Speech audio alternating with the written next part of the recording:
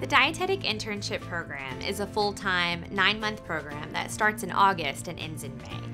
The program is jointly sponsored by the University of Arkansas for Medical Sciences and the Central Arkansas Veterans Healthcare System. We accept 14 students into the program each year.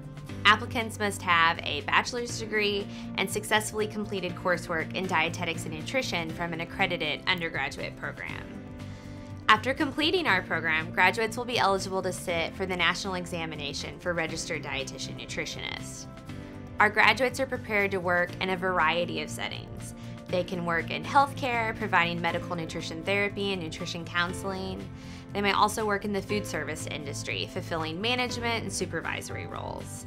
They can have their own private practice, work in the community, or conduct nutrition research. Throughout the program, our dietetic interns complete 12 hours of graduate coursework that can be applied towards the master's program in clinical nutrition. My name is Amber Niles, and I was born and raised in Little Rock, Arkansas. What I like most about the program is the high standards and high expectations that were set for us, um, not only as students, but as professionals and future registered dietitians uh, before there was ever a day one.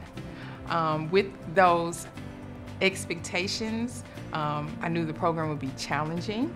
Uh, but with the challenging program, they set you up for success. And so uh, with that, we were going to be more than competent and confident in sitting for the examination for registered dietitians when the time was right. My recommendation to future students is having and seeking balance. Uh, balance between not only being a student, but also your life outside of being a student.